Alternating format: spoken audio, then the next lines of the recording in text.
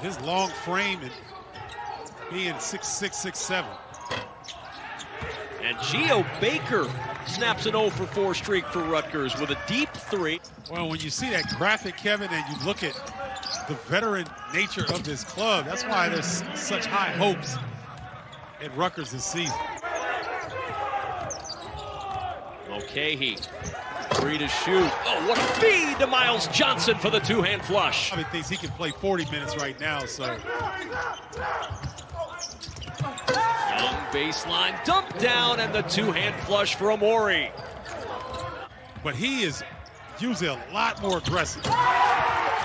Oh, speaking of aggressive, Young to Amori for the two-hand flush. A 10-0 Rutgers run. Long off the heel, Harper two for six from the floor. Here comes Maryland again with Hakim Hart. Smith to the rim, and Smith with a two-hand flush. Rebound, Harper. He'll go end to end, but it's poke three.